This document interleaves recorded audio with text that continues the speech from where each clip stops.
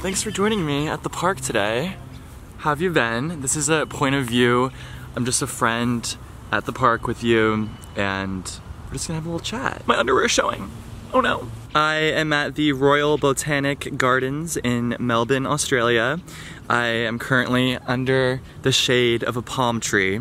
I just am so happy, and I wanted to just come on here and talk to you because I have no one with me in the park right now and I'm getting lonely. Just kidding. I just wanted to have you join me in the park. And of course, I have my iced coffee with me. I hope you have something to drink as well. I'm sorry I forgot to bring you something. okay, now I'm being weird. In other news, I had a pretty wild and traumatic night last night.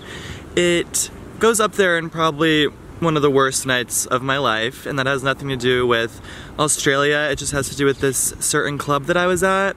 It was called the ESPY. If you've heard of it, if you know about it, don't go to it. I got choked there by the staff.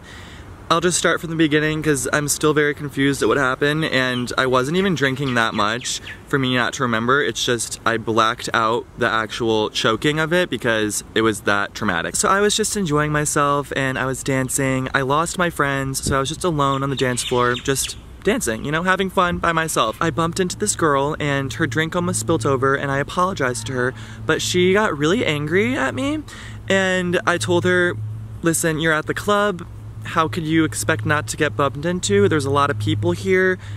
I don't know what else you want me to do, I'm sorry. So my theory is that the girl told on me to the security guard and the security guard was gonna kick me out, but instead of talking to me or like having a conversation like a human being, he just grabbed me from behind and I didn't know who it was, so I like pushed him off and he kind of fell to the floor and I actually surprised myself that I was that strong. You know, when you just, I don't know, I'm not really that physical with people, so the fact that I like had enough strength to push him on the ground, I was kind of like proud of myself, you know?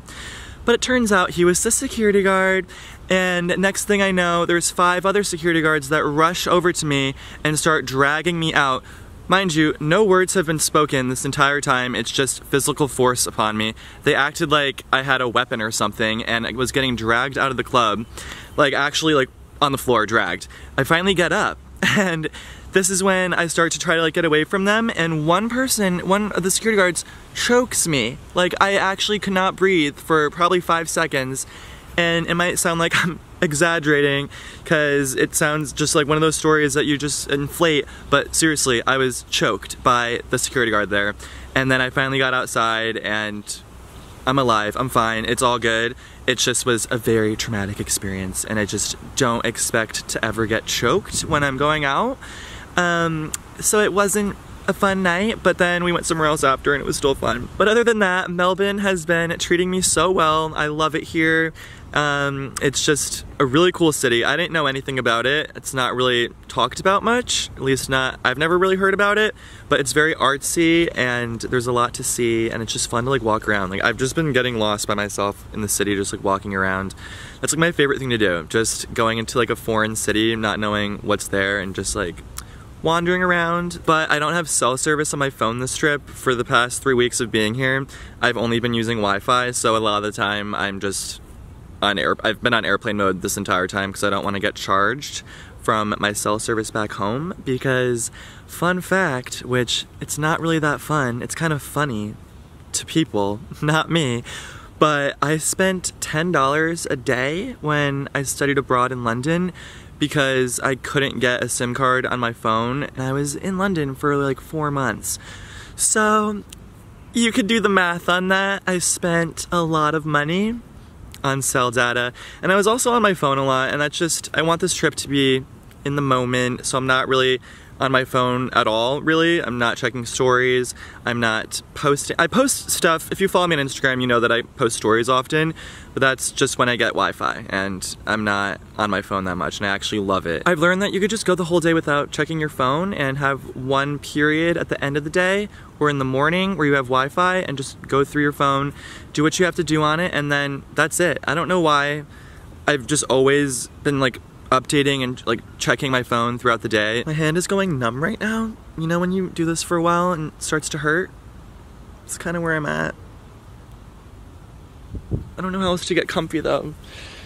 I don't know, I'm kind of tired now after my traumatic night. no, I'm good. It's all good. It's it's a memory. I'm here for the memes, you know? Any memory is a good memory in Australia. Crochet that on a pillow. I could seriously fall asleep here. I never thought I would be comfortable enough to be on grass in Australia if that makes sense. I don't know, I've just been brainwashed, and I feel like a lot of people have been brainwashed outside of Australia. Australia is just known for its dangerous wildlife, and yeah, there's a lot of stuff out here that can definitely kill you, but it's not as common as you'd think. I don't see any snakes or spiders near me right now, at least I'm hoping. I honestly was mindful, like, I did a walk around over there to make sure that there was nothing slithering around just because I'm paranoid. But yeah, nothing is gonna just attack you. I've not seen a snake yet. I wanna keep it that way because snakes are my number one fear in life. Just no thanks. I don't wanna, just nope, you know? So I have one complaint about Australia. You ready? The kangaroo situation. I have yet to see a kangaroo and I've been here for three weeks. I've seen so many kangaroo crossing signs along the road, but no actual kangaroos. I actually saw a dead kangaroo though. Yeah, on the side of the road, it was just dead. But I want to see one with a heartbeat, okay? Is that too much to ask, Australia? actually, okay, I saw one at a zoo, but I don't really think that counts. Like, I want to see one in the wildlife. But I did see a koala in the wilds. We were at this lookout, and the koala was in the tree. All in all, I love Australia. It's so fun. I can't believe I'm actually here and I just am so happy that I made this happen and I if you want to go somewhere, save up.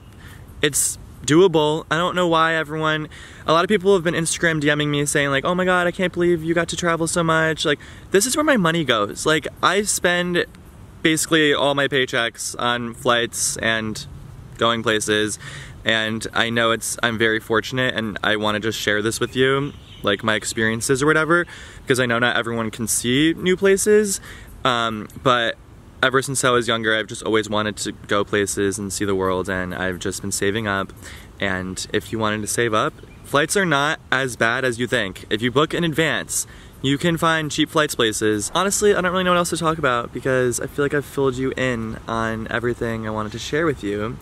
Let me know in the comments what you're up to.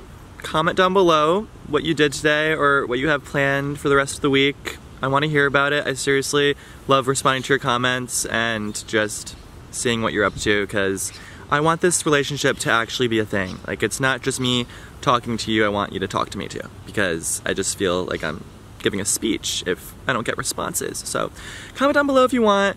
Go off in the comments. Thank you for joining me in the park. I enjoyed talking to you and yeah, I'll talk to you later.